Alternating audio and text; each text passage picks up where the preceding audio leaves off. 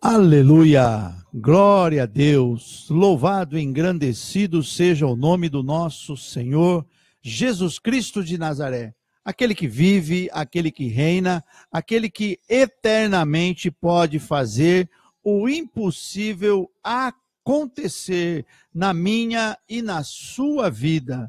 Eu quero louvar a Deus pela sua vida. Engrandecido seja o nome do nosso Senhor Jesus Cristo de Nazaré. É, em nome de Jesus, tudo ok? Nós estamos aqui ao vivo de Juazeiro do Norte.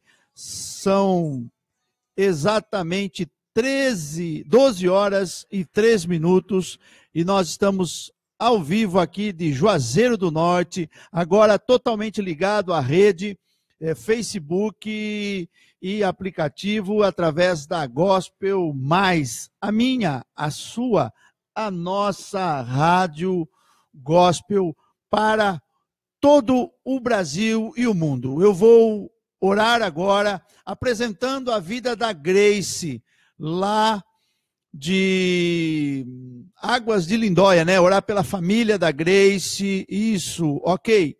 Pai, na autoridade do nome de Jesus, eu quero te pedir que o Senhor que nos uniu em Jesus Cristo, que o Senhor possa estar agora nos unindo na autoridade do nome de Jesus nesse momento de oração. Em nome de Jesus, eu quero colocar a vida da Grace, a sua família, colocar a vida de todos aqueles que estão nos ouvindo, todos aqueles que estão ligados, todos aqueles que estão conectados com o programa Ai, que fome de Deus.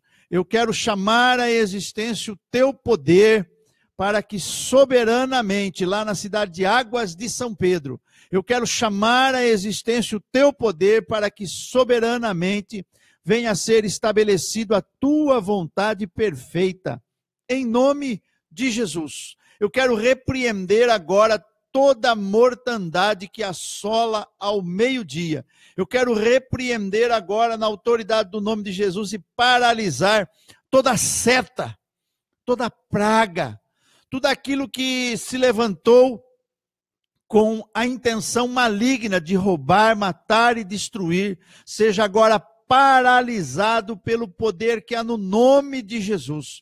Eu quero declarar na autoridade do nome de Jesus a principados, a potestades, a todo homem forte do Brasil, juntamente na concordância com os atalaias, com aqueles que o Senhor colocou sobre os muros do Brasil. Nós estamos orando agora e repreendendo agora toda a mortandade que tenta assolar ao meio-dia. Pelo poder que há no nome de Jesus. Eu digo a você, homem forte do Brasil. Eu digo a você, rainha dos céus, em nome de Jesus, paralisado, amarrado seja toda a sua operação agora. Na autoridade do nome de Jesus, eu quero chamar a existência céus abertos para o Brasil. Céus abertos para o Brasil. Nós frustramos todo o intento maligno contra o avanço da igreja pelo poder que há no nome de Jesus. Toda e qualquer espécie de nome que tenta se nomear sobre o céu do Brasil, se dobre agora. Se dobre agora, porque está escrito que toda língua confessará e todo joelho dobrará. Então eu declaro agora, pelo poder que há no nome de Jesus, que venha a luz, que venha a luz como o sol do meio-dia, que venha a luz agora a luz que dissipa todas as trevas. Em nome de Jesus, em nome de Jesus, que venha a luz que dissipa todas as trevas. Pai, o Senhor disse que, como um tom de reclamação, que ninguém comparecia diante do Senhor em juízo. Pois eu estou aqui agora, Pai, comparecendo diante do Senhor em juízo, em favor do Brasil, para que o Senhor julgue retamente as causas do Brasil, para que o Senhor julgue retamente, em nome de Jesus, aquilo tudo que está acontecendo na política brasileira, aquilo tudo que está acontecendo na igreja brasileira, aquilo tudo que está acontecendo na, com a população brasileira. Senhor, como crerão, Senhor? Como crerão naquele o qual não conhecem? Porque, Pai, muitos têm anunciado uma religião, muitos têm falado de uma religião, e eu ouvi falar que a religião é como o ópio, é como a droga dos pobres. Mas pobre daquele, Pai, pobre daquele que não te conhece. Pobre daquele, Senhor, que não tem uma experiência contigo, algo para falar. Algo para falar nesse sentido. Em nome de Jesus, Pai. Em nome de Jesus, eu quero chamar a existência o teu poder que desfaz as maquinações do inferno. Em nome de Jesus, a tua palavra nos garante que o Deus desse século, o Deus desse século, cegou o entendimento dos incrédulos para mantê-los na incredulidade. Muitas pessoas, Pai, dizem que têm fé, mas na sua atitude são incrédulas. Muitas pessoas dizem ter fé, muitas pessoas falam de fé, mas eles se mantêm na incredulidade. Porque existe uma grande diferença. Embora, embora a fé seja para todos, a fé não é de todos. Mas eu não estou falando na fé, na fé. Eu não estou falando de ter fé na força do braço. Eu não estou falando de ter fé em homens, de ter fé na natureza, de ter fé na criatura ou na criação, mas eu estou falando da necessidade e a operação do Deus desse século é para manter as pessoas na incredulidade. Na incredulidade. Para que as pessoas não possam canalizar a sua fé para o único Deus verdadeiro, Criador dos céus e da terra. Mas se a religião é o ópio, se a religião é a droga, se a religião é a bebida, a cachaça, se a religião é aquilo que anestesia, entorpece, tira o sentido dos pobres. Eu quero dizer, pobre daquele que se enche de conhecimento que não é o conhecimento da verdade.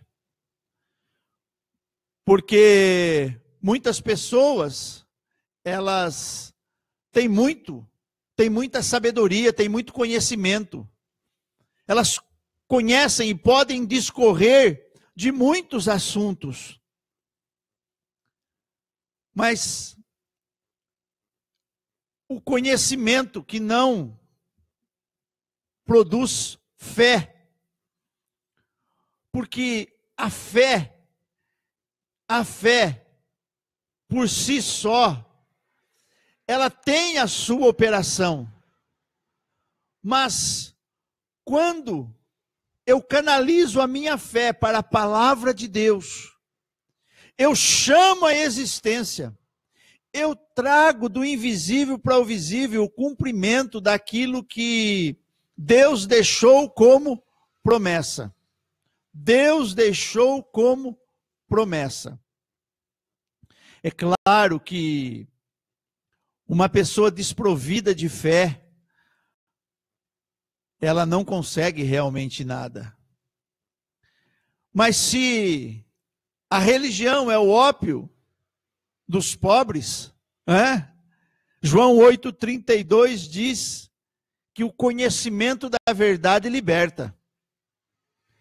E então, Deus, o Criador de todas as coisas, criou para mim e para você uma condição, criou para mim e para você um caminho aonde nós podemos desfazer tudo aquilo que tenta nos prender, tudo aquilo que tenta nos amarrar, tudo aquilo que tenta nos colocar para baixo, tudo aquilo que nos tenta, que tenta nos fazer pessimistas.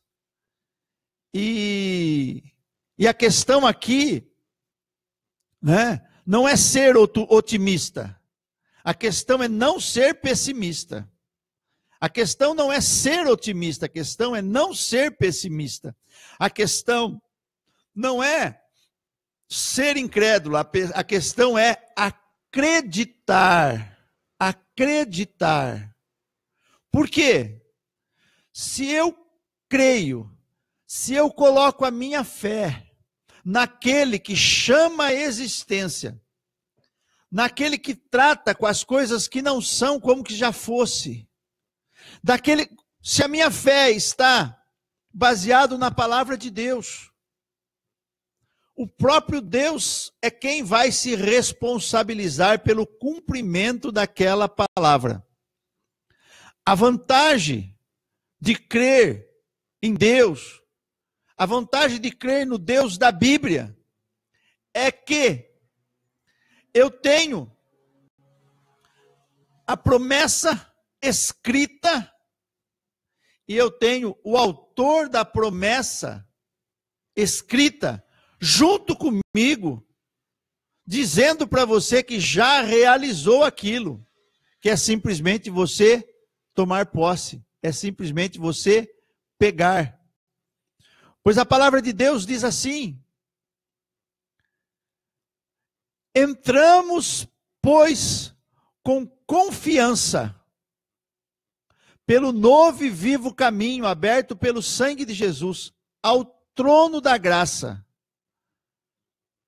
Trazendo para a linguagem de hoje, e eu sou bem prático, é simples. Ó, abra a geladeira de Deus e pegue essa água gelada que você está precisando. Abre a geladeira de Deus e se você quer tomar uma Coca-Cola, pegue. Se você deseja tomar uma Coca-Cola, pegue. Abra a geladeira de Deus e se você quer comer uma fruta, tem na geladeira de Deus, pegue, coma. Abra a geladeira de Deus e se você né, quer comer uma carne e você quer comer quente, então você tira da geladeira de Deus esta carne prontinha para você, que já está pronta e simplesmente escolha se você quer aquecer no micro-ondas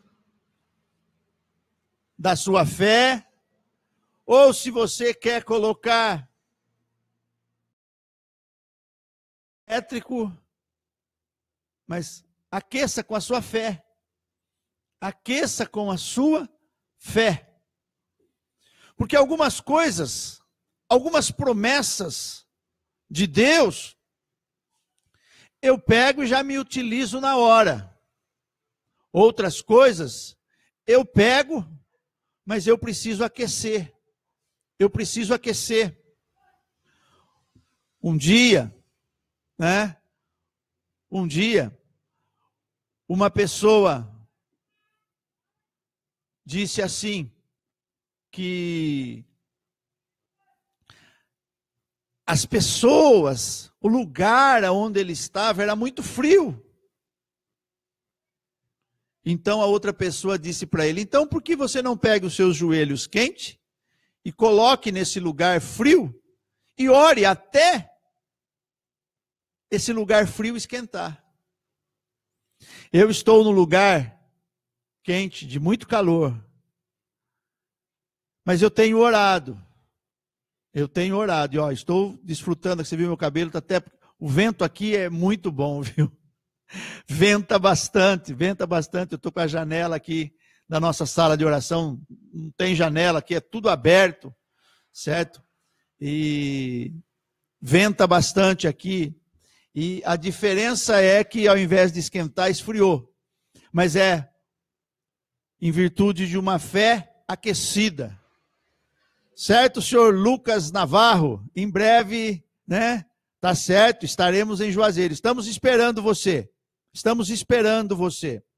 Quero louvar a Deus pela vida do Robson Pompeu, da Rafaela, da Tânia Bernini, da Natália, da Michele Botelho, da Lúcia, a Bia do meu coração, a Maria Gândara, o Eliseu, o Tiago, Evandro, pastor Evandro, Angélica, Joelisa, Tiago, a Marilyn, lá na Advocacia Camargo, lá de Araras, né, o amigo do, do Dino, a Dani, do Tiago.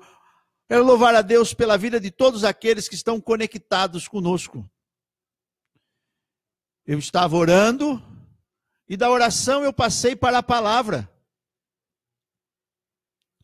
Para que a oração surta um efeito na sua vida. Disse Jesus: se você pode crer. Foi exatamente isso. Eu estava falando a diferença entre fé e incredulidade.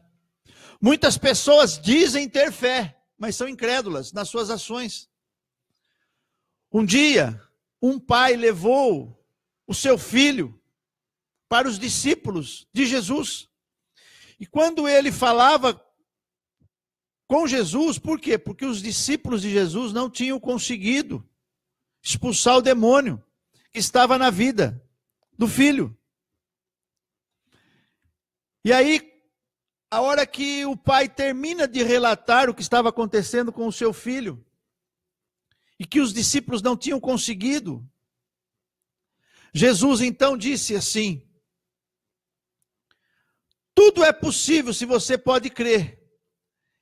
E o interessante é que, sabe o que aquele pai disse para Jesus? Eu creio, mas me ajuda na minha falta de fé. Me ajuda na minha falta de fé. Então,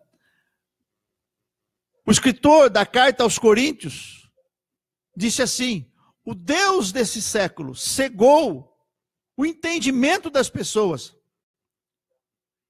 para mantê-las incrédulas. Então pouco importa, viu? Se eu digo ter fé, pouco importa se eu faço parte de uma religião, eu preciso tomar atitudes de fé. Atitudes de fé. Porque num ato de fé eu tomo posse daquilo que o pregador está anunciando, daquilo que a pessoa está orando, daquilo que eu leio na Bíblia. E aquilo é um ato de fé. É aquilo do agarrar. É aquilo que eu disse. Se você crê que Deus existe, Aproxime-se, mediante o sangue de Jesus, ao trono da graça. Pegue o que você quer. Parafraseando, né, na historinha que eu inventei para você, para facilitar o seu entendimento, abra a geladeira de Deus e pegue o que você quer. Isso é um ato de fé. É um ato de fé. Mas eu e você precisamos de uma atitude de fé. A atitude de fé é aquilo que todos os dias eu tenho, eu me mantenho. Num ato de fé eu fui salvo, mas numa atitude de fé eu vou crescendo na graça e no conhecimento de Deus. Num ato de fé, num ato de fé eu fui batizado nas águas, mas eu tenho uma atitude de, de fé que eu nasci de novo. Porque se eu não tiver uma atitude de fé que eu nasci de novo, aquele ato de fé do batismo, quando eu sequei e troquei de roupa, lembra aquilo que o escritor sagrado disse? Para aqueles que duvidam, para aquele que é inconstante, que olha no espelho e quando vira de costas já não se lembra mais do seu rosto. É como eu aqui, ó. Eu tô aqui lutando, ó. Eu tô aqui lutando com o meu cabelo, ó. Eu tô lutando com o meu cabelo aqui. Porque o vento faz o papel dele, ó. O vento faz o papel dele. E a nossa sala de oração não tem janela, tá? Aqui eh, nós estamos é, no alto e venta muito. E, e, nós estamos aqui na nossa sala de oração, orando. E eu quero, se você tem um pedido de oração específico, Aldino, a Pati, Pastor Luiz, Fábio Camargo mandou um abraço, pastor. Um abraço, Fábio Camargo, também lá de Araras, o Gabriel Botelho. Então, existe uma necessidade de que aquele que crê que Deus existe, precisa também crer que Ele é galardoador, presenteador daqueles que o buscam. Ou seja, existem pessoas que não abrem a geladeira de Deus. E a, deixa a água gelada lá na geladeira de Deus e fica aqui do lado de fora passando sede. Mas elas são, elas dizem ter uma religião, eu não estou dizendo que não tem. Elas podem até ter nascido de novo, podem até ser cristãs, eu não estou dizendo, não estou falando do céu, estou falando de fé de fé, da necessidade que nós temos de abrir a geladeira de Deus. Existem pessoas que ficam pedindo para Deus, Senhor, me cura. Existem pessoas que fiquem, ficam pedindo para Deus, quase para viver eternamente aqui na terra. Amém, Cláudia Ribas? Teu casamento está no altar de Deus. Teu casamento está no altar de Deus. E a minha primeira oração por você, Cláudia Ribas, é que você receba uma porção sacudida, recalcada, transbordante de sabedoria, em nome de Jesus. A minha segunda oração por você, Cláudia Ribas, é que o Espírito Santo te conforte agora, porque eu sei quão difícil é quando nós estamos passando uma dificuldade dentro do casamento.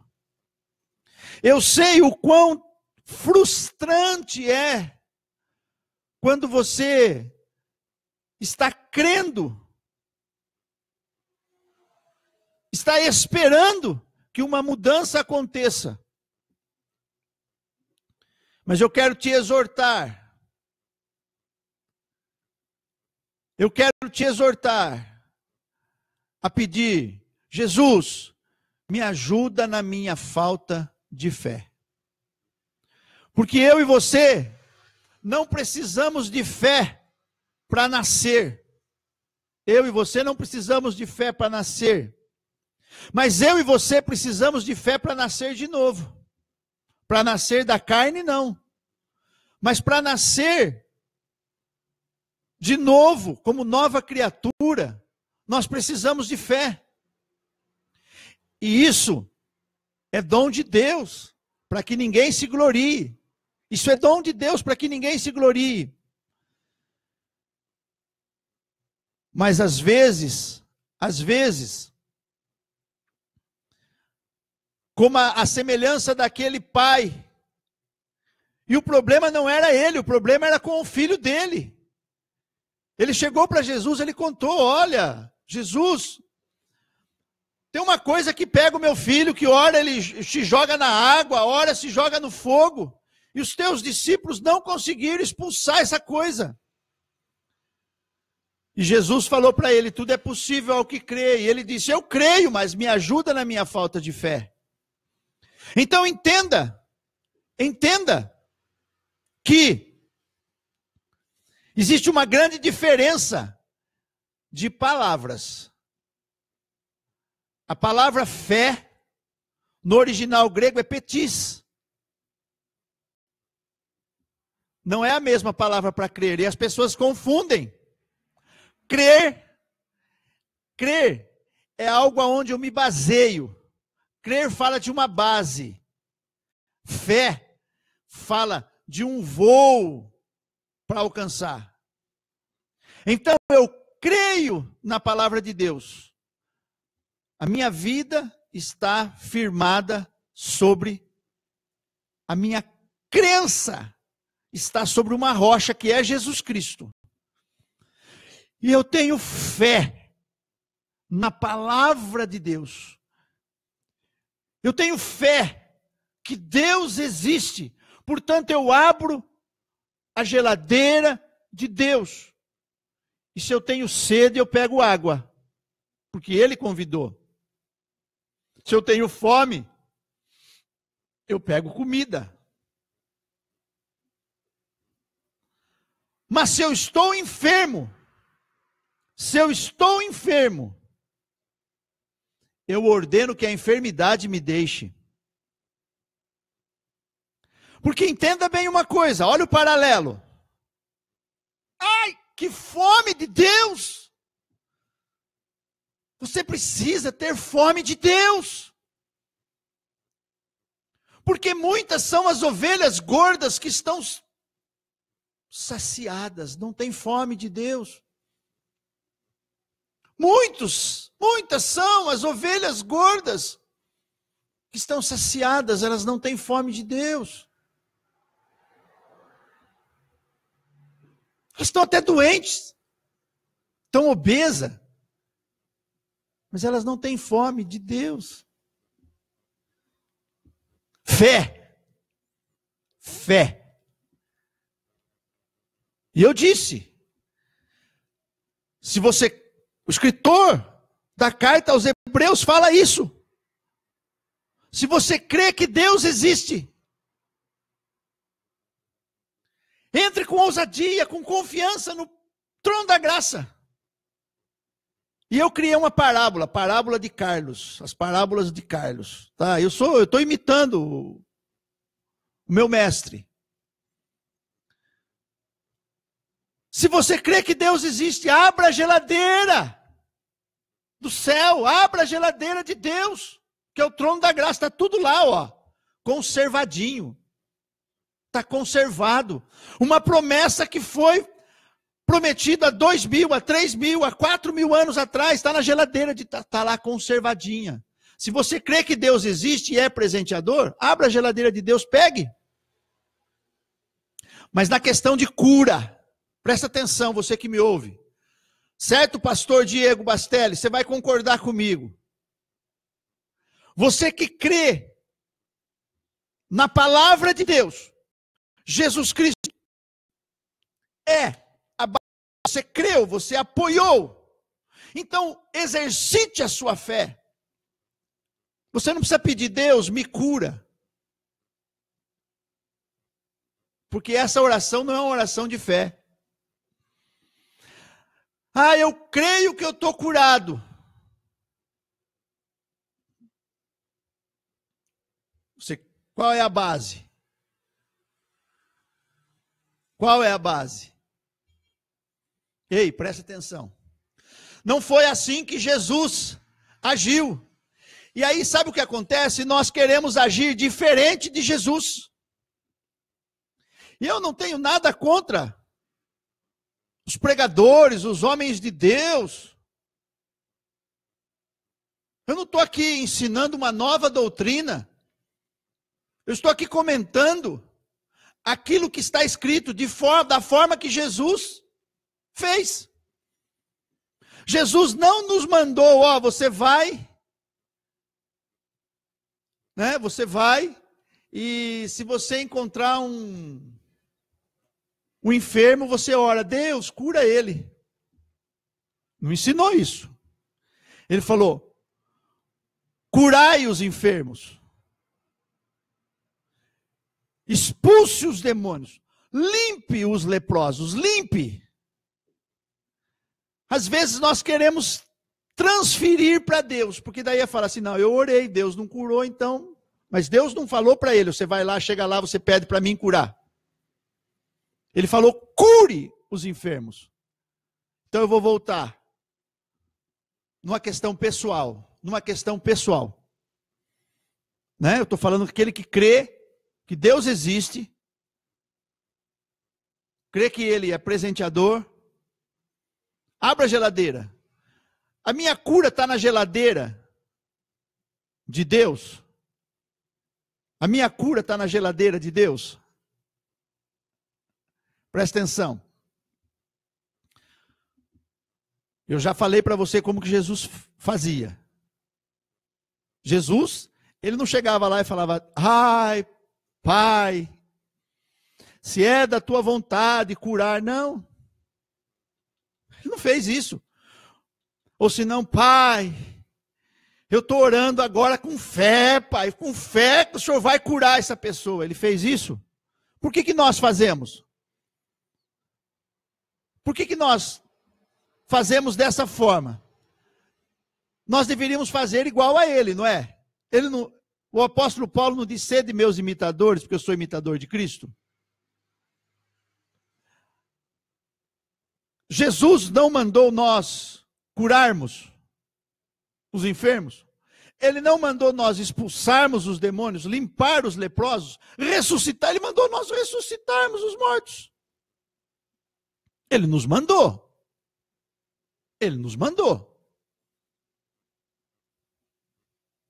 E qual é a necessidade minha e sua? Fé.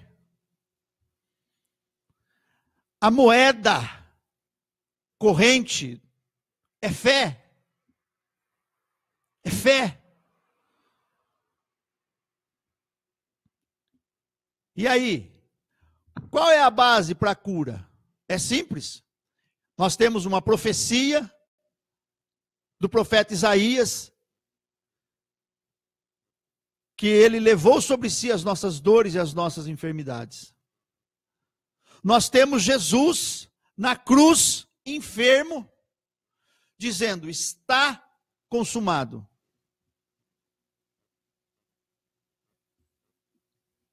Então, ei,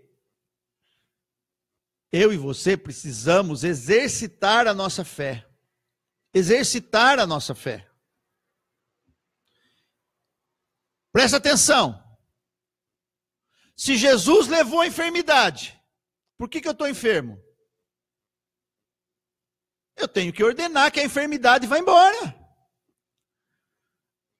Eu não estou ensinando que nem na Universal, tá? Para você se revoltar contra a enfermidade, porque o nome de Jesus. Não estou falando disso de se revoltar, não. Certo? Eu estou dizendo que você precisa exercitar a sua fé. Como eu estava dizendo, eu creio na cura, porque a Bíblia me dá base. Crer é base. Fé é voar, é se lançar no impossível. Eu tenho que exercer fé, foi isso que aquele o pai do, do menino falou para Jesus. Eu creio, mas me ajuda na minha falta de fé. E como que eu adquiro fé, Carlos? Romanos 10 e 17, de sorte que a fé vem pelo ouvir, ouvir pela palavra de Deus. Se nós formos orar, olhar ali, ouvir Deus falando. Nós precisamos ouvir Deus falando. Quando eu ouço Deus falando, isso gera fé. A fé do Filho de Deus, né? Pois já não sou mais eu quem vivo, mas Cristo vive em mim. E o viver que eu vivo agora, ó, vivo agora, ó, eu sou de carne, viu? Eu estou aqui, estou em carne, ok? Você está vendo aqui. Mas a fé que eu vivo agora, nesse corpo, viva na fé do Filho de Deus, que me amou e por mim se entregou. Aí, não é a fé na fé. Eu não tenho fé que se Deus quiser ele vai me curar. Eu tenho fé porque eu creio que ele já me curou e eu tenho fé que a enfermidade vai embora. Vai me deixar. Porque eu vou ordenar que ela vá. Porque foi isso que Jesus fez. Foi isso que Jesus fez. Jesus exerceu autoridade. A fé me dá autoridade. E a autoridade precisa ser exercida pela fé.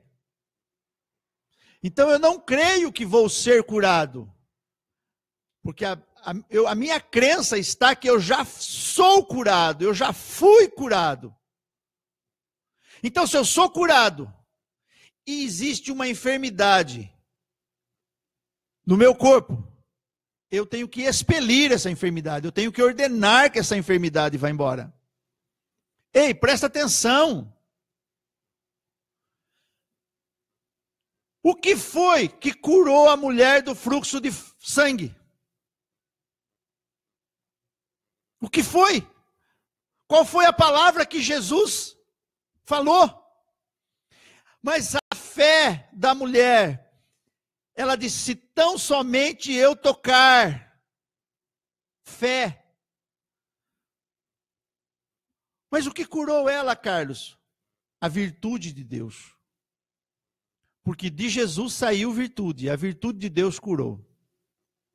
Quem é a virtude de Deus? O poder do Altíssimo.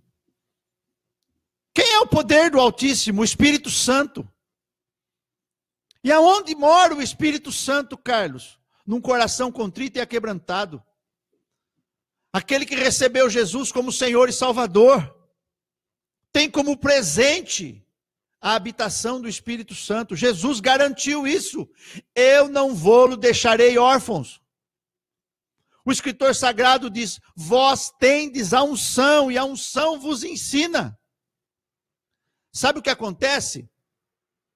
é que às vezes, às vezes, eu acabo me apegando a alguns métodos. Eu acabo me apegando a alguns métodos. Quando na realidade não existe método. A mensagem ainda é a mesma. A mensagem ainda é a mesma. Fé. Tudo é possível ao que crer. Tudo é possível ao que crer. E porque eu creio, eu vou orar agora pela cidade de Santo André, lá no estado da Paraíba. Hoje, dia 3 de agosto, 12 horas 43 minutos. Eu vou orar pela cidade de Santo André, na Paraíba. Estou orando pela evangelização do sertão. Eu estou aqui em Juazeiro do Norte, exatamente orando pela evangelização do sertão. Vou orar também pela cidade de Mar Vermelho, no estado de Alagoas.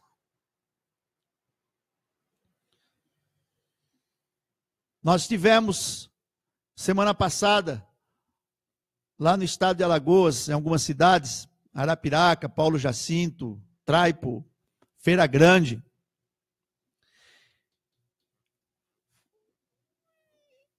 Falando a respeito disso. Eu quero te convidar para orar agora, para exercer fé. Para exercer fé. Eu vou interceder. Interceder é diferente. Quando eu intercedo, eu levo a Deus a causa. E a minha fé, a minha fé, com base na palavra de Deus, para a cidade de Santo André, lá na Paraíba, eu creio em Mateus 7,7: busquem e encontrarão. É uma promessa que eu preciso misturar fé para a cidade de Mar Vermelho, em Alagoas. e para o povo da cidade. Deleita no Senhor, e ele atenderá aos desejos do teu coração. Salmo 37, versículo 4. Sabe por quê? Aquele povo, diz o escritor sagrado, escrevendo aos Hebreus, sabe por que aquele povo que saiu do Egito não entrou em Canaã? Porque eles não misturaram fé à promessa. E aí muitos dizem: Ah, eu tenho promessa de Deus. Sim, você pode ter a promessa de Deus, mas se você não misturar fé à promessa de Deus, você não vai entrar no descanso da fé. Porque agora nós não, não entramos mais numa Canaã física. Aquele povo que viu a fé do Moisés. Porque aqueles sinais foram executados pela fé do Moisés aquele povo foi beneficiado. E ó, de repente, eu exercendo fé, você pode ser beneficiado, você pode ser curado, mas eu quero que você tenha fome de Deus. Eu quero que você exerça fé, que você permita que o Espírito Santo crie fé, aumente a sua fé. Aumentar a fé foi Jesus que falou a respeito disso. Tudo é possível ao que crê. E você sabe o que, que o, a pessoa, o pai daquele jovem pediu para Jesus? Ajuda-me na minha falta de fé. Numa outra versão diz: acrescenta minha fé. Acrescenta minha fé. Ei, aqui no Nordeste, existem homens e mulheres de fé que muitos cristãos do Sul não conseguem chegar nem perto. Só que a fé deles não tem base, eles estão cegos pelo Deus desses séculos.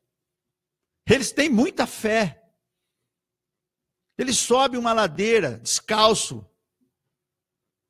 Que o meu tênis arrebentou de tanto subir lá. Eles sobem descalço de joelhos, com pedra na cabeça. E não é só aqui, viu? Existem pessoas que se cortam, se crucificam, fazem tantas coisas em nome da fé.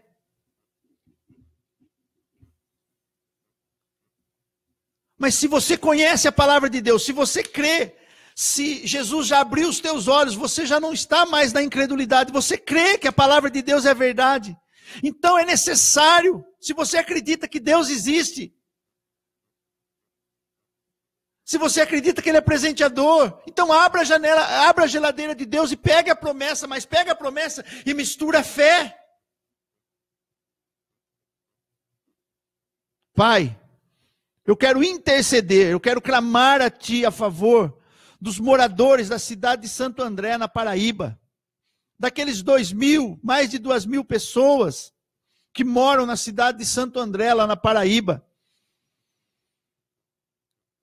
Eu quero clamar a favor daqueles que são analfabetos. Senhor, eles ainda estão presos. Eu quero clamar em favor daqueles que estão presos à incredulidade. 98% da população é incrédula. Eu quero clamar a favor daquelas 40 pessoas que conhecem o teu nome. Quero clamar a favor do pastor da Assembleia de Deus e das outras igrejas que possam existir lá na cidade de Santo André, na Paraíba. Em nome de Jesus. Mas eu quero exercer fé. Homem forte da cidade de Santo André, na Paraíba, eu te amarro agora na autoridade do nome de Jesus. Eu te ordeno Deixe esse povo livre agora, para que eles possam vir adorar ao único Deus verdadeiro. Em nome de Jesus, em nome de Jesus, eu chamo juízo de Deus, eu libero o juízo de Deus sobre a sua cabeça, homem forte de Santo André. Eu entro agora, eu requeiro agora juízo de Deus sobre o homem forte da cidade de Santo André, em nome de Jesus, e ordeno: deixe o povo de Deus livre para adorar a Deus, em nome de Jesus. Eu frustro agora, na autoridade do nome de Jesus, todo o intento de Satanás, toda a operação do Deus desse século, que mantém essas pessoas na incredulidade. Eu te peço, Espírito Santo, vem sobre a cidade de Santo André, paira sobre Santo André. Vem, Espírito Santo, caia sobre a cidade de Santo André. Cria, que haja no coração desse povo fome de Deus. É chegado a, a hora, Pai, e a hora é essa, porque o Senhor tem uma promessa que o Senhor enviaria fome. Então, que esta fome de Deus caia, seja criada nos moradores de Santo André, lá na Paraíba. Da mesma forma, eu oro por Mar Vermelho, no Alagoa, lá em Alagoas. Em nome de Jesus, Pai, envia ceifeiros para Santo André, na Paraíba, para Mar Vermelho, lá em Alagoas. Pai, eu rogo porque Jesus mandou rogar. Então eu rogo, envie ceifeiros, Pai. Envie ceifeiros. Em nome de Jesus, mas eu oro pelos obreiros, do sertão, pelos pastores de Santo André, de Mar Vermelho, que eles sejam renovados, fortalecidos. Lá em Mar Vermelho, eu oro pelos pastores da Igreja Batista, da Igreja Assembleia de Deus, pelos outros evangélicos, que são dez lá, que eles possam se encontrar, que eles possam encontrar a sua seu lugar para congregar, que eles possam, em nome de Jesus, que possam nascer igrejas fortes lá, igrejas atuantes, igrejas que creem, mas que misturam fé às promessas, para ganhar a cidade de Mar Vermelho lá em Alagoas para o Senhor Jesus. Assim, Pai, eu quero te pedir agora, meu amigo Espírito Santo, que o Senhor possa estar fazendo com que no coração daqueles que me ouvem, eles possam ser incendiados, que a fome de Deus deles aumente, que a fome da palavra de Deus aumente, que a audição deles agora, que eles possam ouvir o que o Espírito diz para a igreja, que eles possam sentir o teu coração batendo por almas, que eles possam amar o próximo como eles se amam. E se tem algum ouvinte que não se ama, então, Espírito Santo, eu quero liberar agora que o derramar pelo Espírito, agora, no seu coração, possa revelar mais do amor de Deus. Pai, o Senhor nos deu o ministério da reconciliação que a Cláudia esteja se reconciliando com o seu esposo, que o seu esposo esteja se reconciliando com a Cláudia. Em nome de Jesus, que aquilo que o Senhor uniu,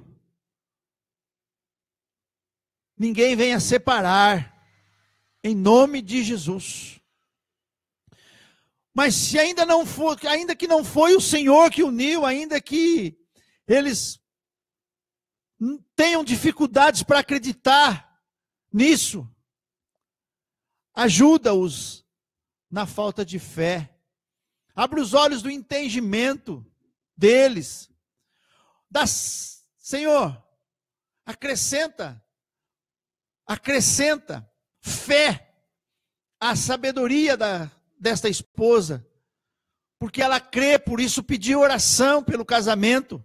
Então, Ajuda ela na falta de fé, que ela possa crescer na fé, que ela possa aumentar, que a fé dela venha aumentar. Como o grão de mostarda é plantado, e o grão de mostarda cresce como uma árvore, e é a maior das hortaliças. Chega a mais de um metro o pé de mostarda. Que a semente de fé que foi plantada no coração da Cláudia possa crescer, possa aumentar a ponto de que ela possa se colocar como mulher sábia, como esposa ajudadora, no seu casamento.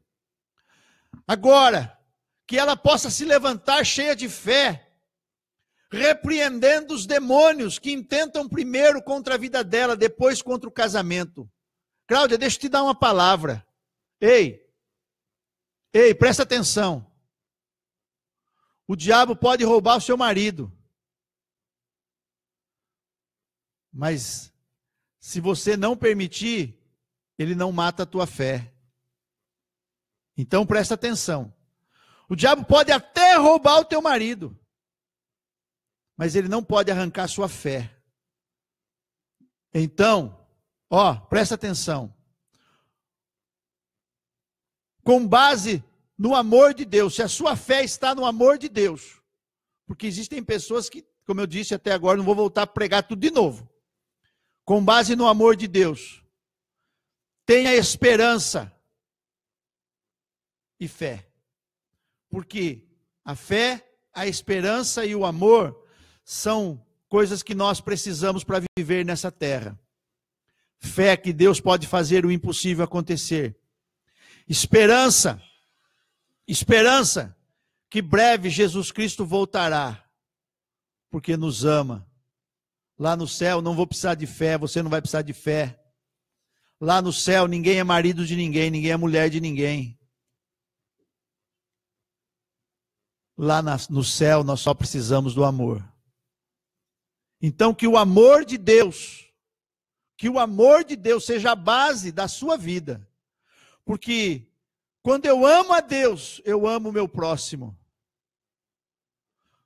Quando eu amo a Deus, eu amo a pessoa que me trai, que mentindo fala mal de mim. E ó, isso eu sei muito bem se a situação não mudar, como diria o pastor Zé Filho, essa frase é minha, fui eu que cunhei. Não, não. Ei, essa frase é do Espírito Santo, não sou tão inteligente, não. Toda a honra e toda a glória seja dada a Jesus. Ei, presta atenção. Mas eu sei porque vivi isso. Se a situação, se você estiver crendo no amor de Deus, esperando nele, se você colocar a sua fé em ação, se você misturar fé à promessa, se a situação não mudar, ele tira você da situação. Ei, receba essa palavra, Cláudia. Receba essa palavra. Receba essa palavra você que me ouve. Não importa a situação que você esteja vivendo. Se a situação não mudar, mas você continuar crendo, e usando fé.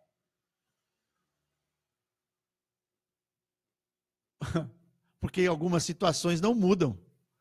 Algumas situações não mudam. Algumas situações não mudam. Jesus, Jesus orou para mudar a situação. Jesus orou. Não estou dizendo que é errado mudar, orar. Mas estou dizendo que algumas situações não mudam. Jesus orou, e orou com fé. Pai, se possível, passa de mim esse cálice. A situação não mudou. Jesus morreu, mas o Espírito Santo tirou ele da morte, tirou ele da situação de morte, e junto com Jesus, tirou a mim que creio, tirou a você, se você pode crer, e pela fé, receber no nome de Jesus, no nome de Jesus, para que você possa viver como o apóstolo Paulo viveu. E nos seus últimos dias ele escreveu: Combati o bom combate. Que bom combate esse? O combate da fé. Corri a carreira que me estava proposta. Que carreira é essa? Aquilo que está na geladeira de Deus, a promessa guardei a fé. Então, entenda bem. Combati o bom combate. Que combate é esse? O combate da fé. Corri a carreira. Que carreira é essa? A promessa. Que eu preciso misturar fé. Guardei a fé. Guardei a fé. Então, vamos exercitar fé. Vamos exercitar fé. A primeira coisa que eu faço, e isso aprendi com o pastor Jesus Pérez, seja o que for a situação, eu repreendo no nome de Jesus. Eu amarro, eu paraliso no nome de Jesus. E expulso, porque Jesus me mandou expulsar. Se não sair, eu viro para Jesus e digo: Senhor Jesus, me ajuda na minha falta de fé. E aí o que vai acontecer? O Espírito Santo vai entrar em ação para gerar fé em você. Para gerar fé em você. Há dez anos atrás, há dez anos atrás, eu tinha um diagnóstico de uma enfermidade. E eu tinha fé para morrer. E eu entrei e comecei a combater, a expulsar. E agora, Carlos? Eu não tenho enfermidade nenhuma. Faz 10 anos que eu não tomo um comprimido. Você pode falar assim: ah, você é relaxado, não vai no médico, você não se cuida. Ei, se eu tenho fé, se eu tenho fé, eu não vou no médico, eu não vou tomar comprimido. Eu vou continuar. Se eu preciso de alguma coisa, eu abro a geladeira de Deus. Mas aquilo que eu tenho, eu te dou. Em nome de Jesus Cristo. Se existe uma enfermidade na sua vida, eu digo, fique curado agora pelo poder que há no nome de Jesus. Que a virtude de Deus, que o poder do Altíssimo te envolva agora, para que você seja curado é, se tão somente você conseguir tocar. Se tão somente você conseguir tocar. Disse a mulher do fluxo de sangue. Que você chegue nesse nível de fé. Em nome de Jesus. Eu não tenho ouro, não tenho prata, mas em nome de Jesus eu declaro agora. Levante e ande pela fé. Em nome de Jesus. Assim eu declaro pelo poder que há no nome de Jesus. Se o inimigo, de alguma forma, veio, ou se ele vier por um caminho contra você, em nome de Jesus, nós expulsamos ele agora e misturamos fé à promessa de Deus. Por sete caminhos, ele foge de você agora em nome de Jesus. Praga nenhuma é uma promessa. Praga nenhuma te alcançará. É uma promessa. Misture fé, dizendo: praga nenhuma eu aceito na minha vida. Praga nenhuma eu aceito na minha casa. Praga nenhuma eu aceito em Juazeiro do Norte. Praga nenhuma eu não aceito no Brasil. Agora, para onde a praga vai, eu não sei. Que vá. Não cabe a mim. Eu tenho que exercer fé. Eu não aceito praga nenhuma na minha vida, não aceito praga nenhuma na minha casa, não aceito praga nenhuma em Juazeiro do Norte, não aceito praga nenhuma na sua casa, não aceito praga nenhuma no Brasil. E expulso esses demônios em nome de Jesus. Mas que venha, que venha, porque aquele que vai profetizar, profetiza com fé. E com fé eu quero profetizar que venham tempos de refrigério na sua vida, pela presença do Senhor. Que venham tempos de refrigério sobre o Brasil, pela presença do Senhor. Que o Deus que é presente, que o Deus presente, que o Deus, o Espírito Santo, que é um presente para você que recebeu Jesus, te leve a toda verdade. Abra a geladeira de Deus. Pegue aquilo que é verdade. Pare de comer marmita azeda. Pare de se alimentar de coisas que não têm base na palavra de Deus. Pare de se alimentar de coisas que não necessitam da fé. Ei, se alguém disser para você qualquer coisa separado da fé, se for para adorar outros deuses, então você já é, diga que é anátema. Mas se alguns disserem que eu sou o Cristo, disse Jesus, se alguns dizendo que eu sou o Cristo, te levar para alguma coisa fora da palavra de Deus, ei, rejeita.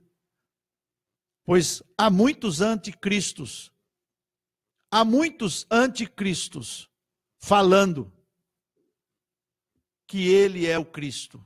E verdadeiramente, Jesus é o Cristo, o Filho de Deus, que te amou, que me amou, que nos amou de tal maneira que entregou o seu único filho, Jesus Cristo, para que todo aquele que nele crê não pereça, mas tenha a vida eterna.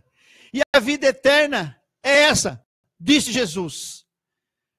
Que me conheçam, reconheçam, reconheçam, reconheçam que Jesus Cristo é o Filho de Deus. Em nome de Jesus. Receba esta palavra. Fique ligado na programação da Gospel Mais, em nome de Jesus. Logo mais, de mulher para mulher, Logo mais, conectados com Deus, logo mais, sal e luz e você. Fique ligado na nossa programação. Eu encerro aqui de Juazeiro do Norte, em nome de Jesus. Deus abençoe. Forte abraço a todos, em nome de Jesus. Forte abraço a todos, em nome de Jesus.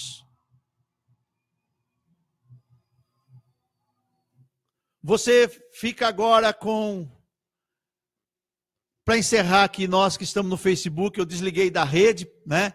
Para encerrar agora, para nós que estamos no Facebook.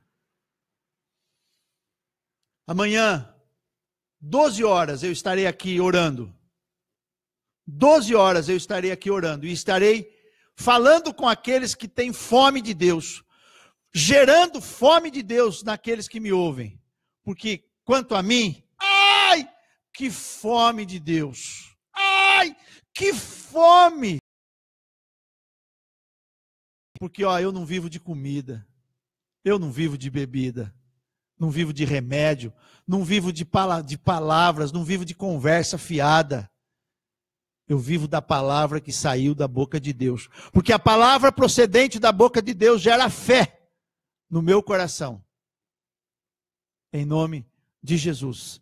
É nessa fé que eu fico, é nessa fé que eu te despeço. Vai nesta fé, em nome de Jesus. Até amanhã.